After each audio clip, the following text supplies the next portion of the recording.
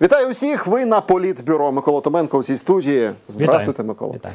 Микола, щось дивне коїться. Прийшла інформація про те, що на яхті Ярославського, який цей олігарх харківський обіцяв ну, віддати все, поділитися з народом.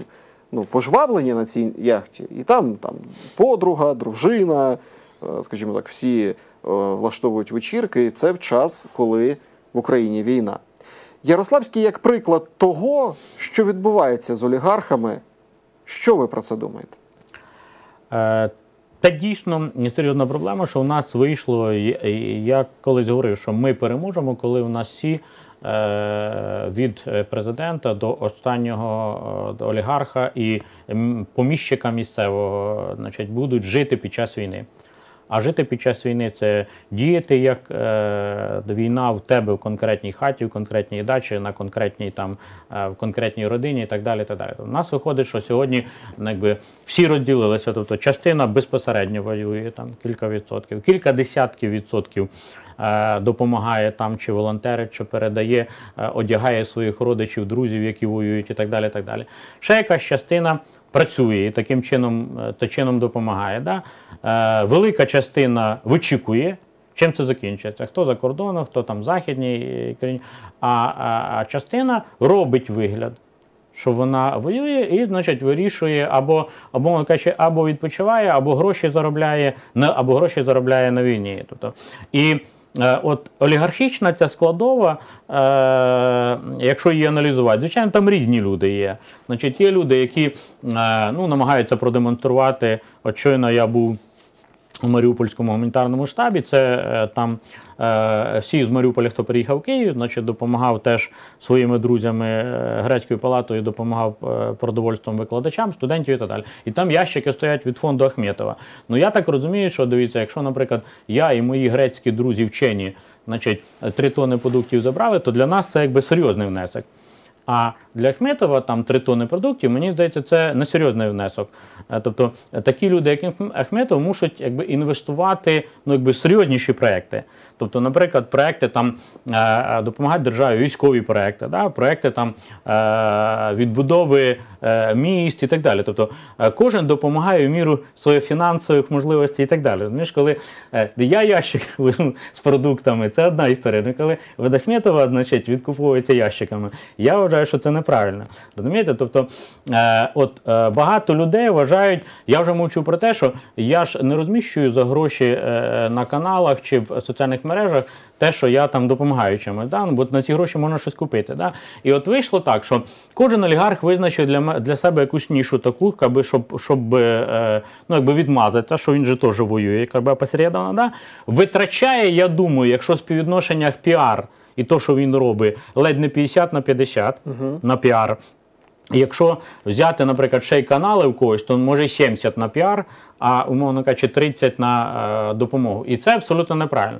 Я би взагалі е, ну, заборонив е, будь-яку е, рекламу. Е, е, Там е, допомоги чи олігархів, чи політиків і так далі. Тобто, ну це якби треба тихо це робити. Ну за гроші я маю на увазі, да? значить рекламуватися. Тепер є інша історія тих людей, які, наприклад, пообіцяли і нічого не зробили. Це не тільки олігархи. Дивіться, у нас була перша, перша хвиля, всі визначні люди, значить, були тероборонівцями. Значить, де вони зараз? Значить, співаки співають за кордоном. Ну, 90%. Я тут, до речі, з Тарасом Тополею погоджуюся, який там, який, до речі, з яким ми в контакті, е, я в хороших відносинах з ним, його групою, який реально воює, да? Який з першого дня і воює. Він каже, я не можу концерти організовувати, бо я ж в армії. А е, ті, хто е, перший день чи другий день фотографувався, значить, вже ж або за кордон поїхали е, спортом займатися, або за кордон концерти. Я їх не засуджую. Ну, має питання: а нафіга, значить, було зброю брати в руки, сфотографуватися, потім їх здати. Така сама була з олігархами. Тобто вони хотіли засвітитися. І Ярославський говорить, я дачу даю, я весь Харків відбудую і так далі. і так далі. Тобто, але це абсолютно не підкріплено поведінкою твоєї, твоєї родини, твого оточення і так далі. І це, на мою думку, якщо проаналізувати, це ж ви згадали Ярославського. Десь значить, говорять, купа депутатів взагалі ще до війни поїхали там на Лазурне море, десь Монте-Карло чи Баден-Баден, ні чому, і не повернулися. Значить, і тут питання не тільки до їх. А, і вони, до речі, деякі з них е, фонди щось роблять. Тобто вони знаходяться там, а от то, що я казав, оцей якби піар, вони розповідають, наш фонд роздає і так далі. так далі. Але враховуючи їхні фінансові статки, їхній вплив, ну це, це вони не воюють. Це вони так вільний від вільний відпочинку на яхті час. Вони типу, допомагають Україні. Тому е, вони почать по- повинні воювати, на мою думку. Як Ні, воювати? Як мінімум повернуться в Україну. Давайте не так.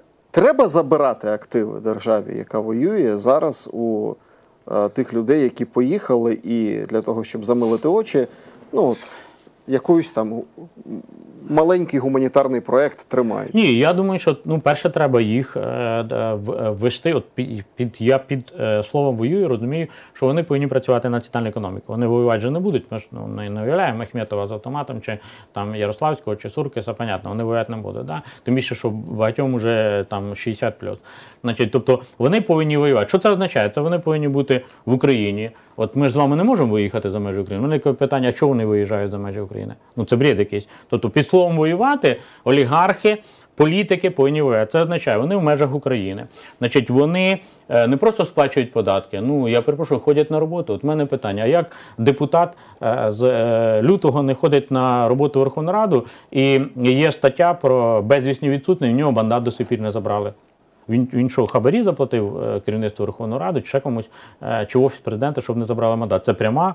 Е, Ну, якщо ви е, півроку не появляєтеся на роботі, вас давно вигнали б уже, тим більше в Верховній Раді. Тобто підвоює, я розумію, на роботу, або дійсно, от мандати точно треба забирати. По майну ні, тому що майно, ну як на мене, майно.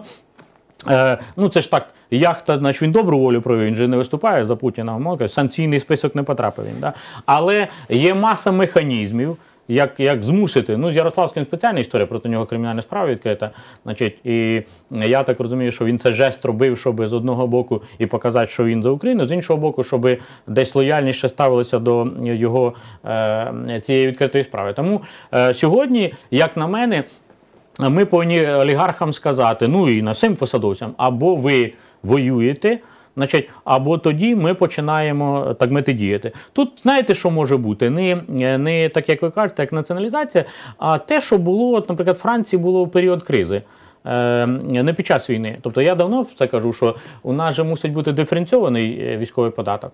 Тобто ми фіксуємо, дивіться, зараз, до речі, на не треба звітувати, а я попадаю під категорії національна публічна особа. Я перед банками звітую, що я заробив в університетах. Я носив папірці, бо мені заблокують рахунку в банку, щоб ви розуміли.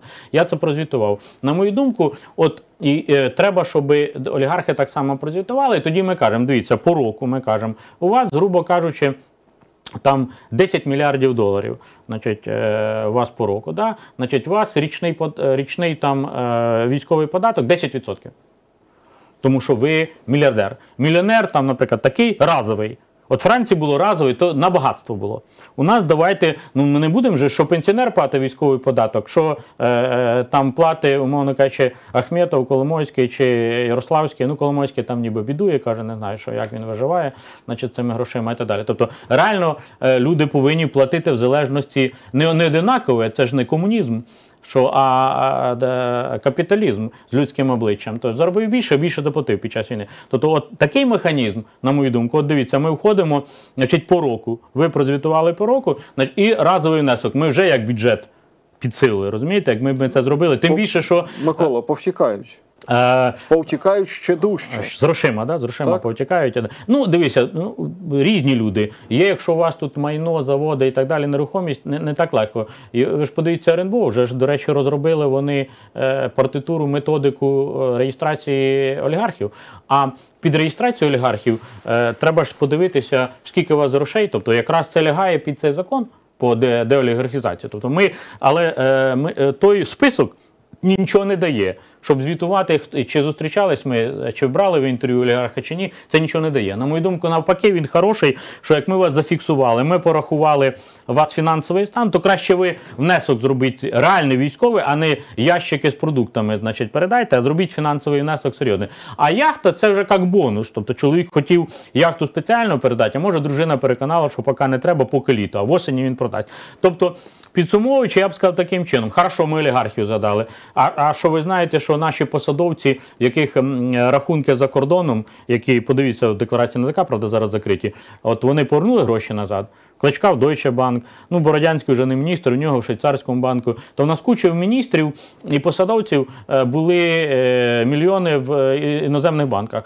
То вони теж, на мою думку, повинні повернути, бо вони посадовці, вони повинні показувати приклад українцям. Тобто, наша теза з вами така: поки олігархи високопосадовці, владці, прокурори, судді не почнути жити за стандартами війни, не почнути е, воювати в такому, так мовити, філософському сенсі е, доти і з простого народу вимагати воювати повноцінно ми не зможемо. Тобто, або всі воюють, або е, ця війна надовго.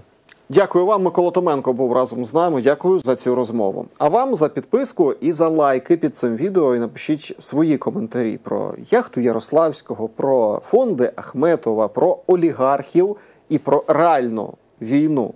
І чи потрібна нам ну, консолідація усюди, а не лише серед нас із вами. До зустрічі.